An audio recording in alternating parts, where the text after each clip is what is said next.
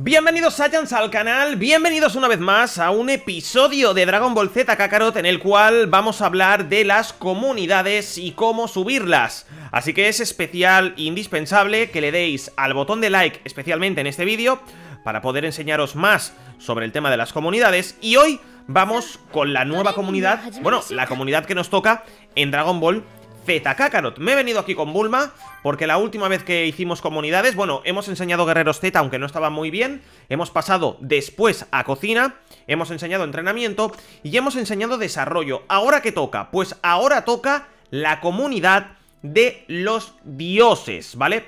Comunidad donde vamos a ganar Orbes Z, donde las bonificaciones, las bonificaciones de esta comunidad van a ser obtenciones de Orbes Z y estos Orbes Z eh, sirven para poder subir todas las habilidades, todos los puntos de talento del árbol de habilidades de cada personaje de Dragon Ball Z Kakarot. Por eso es importante tener esta comunidad subida para ganar muchos más orbes Z y que nos cueste menos tiempo adquirirlos.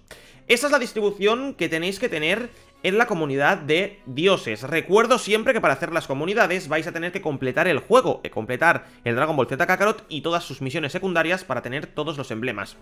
Yo tengo esta distribución, vamos a hablar sobre esta distribución aquí y como siempre, y repito en todos los vídeos, es bueno que potenciéis la casilla de la comunidad en la que se encuentra el personaje. Es decir, me voy al anciano Kaioshin, tiene potenciada la comunidad de dioses. Como lo veis ahí, tiene un 30 sobre 30. Esto se consigue eliminando a los supervillanos rojos y consiguiendo secretos para el éxito, una vez se derrotan, y en vez de adultos tiene que poner dioses.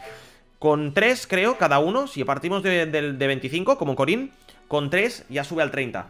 Eh, le daríamos uno que subiría a 27, le daríamos uno que subiría a 29 y luego el otro que subiría al 30. Serían 3, ¿vale? Así es como tenéis que tener la comunidad para tener una comunidad efectiva y para tener una comunidad que funcione, ¿vale? No me voy a explayar más en este vídeo porque lo único que quiero es que veáis cómo están organizados los emblemas, para vosotros podéis copiarlo, podéis pausar el vídeo o como yo me siempre me enrollo mucho al hablar, podéis podéis escucharme y a la vez que me escucháis colocaros vuestros emblemas. Bien, yo sé que mucha gente tiene esto ya hecho, pero otra mucha no, y no sabe cómo distribuirlos para que todos los, eh, todas las comunidades estén al 100%, en un rango máximo. Como veis, tenemos la comunidad de los dioses al máximo y ahora vamos a enseñaros la de desarrollo, entrenamiento, cocina y guerreros Z porque la tenemos también al máximo. Mañana enseñaré la comunidad eh, siguiente, ¿vale? Que es la comunidad eh, de adultos, creo que es. La comunidad de adultos creo que toca. Ahora toca la de los dioses, está muy bien y bueno, espero que ya a partir de este vídeo lo hayáis pausado ya o si no, lo pausáis. Ahora voy a enseñaros que efectivamente las demás comunidades las tenemos con el rango máximo.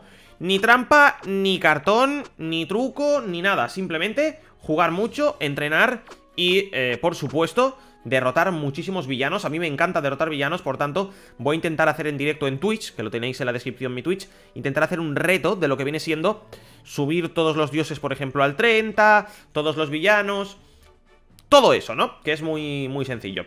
Bien chicos, pues espero que os haya gustado este vídeo. Ya sabéis que este mini tutorial lo estoy haciendo para la gente que no conoce aún los secretos del Dragon Ball Z Kakarot Así que un like lo agradecería. Y para mí es un placer estar aquí con ustedes Así que muchas gracias por estar conmigo, por escucharme Y nos vemos pronto en un nuevo vídeo de Dragon Ball Z Kakarot o Xenoverse Os espero en el canal de Twitch, en directo. Muchas gracias, hasta la próxima. Chao, chao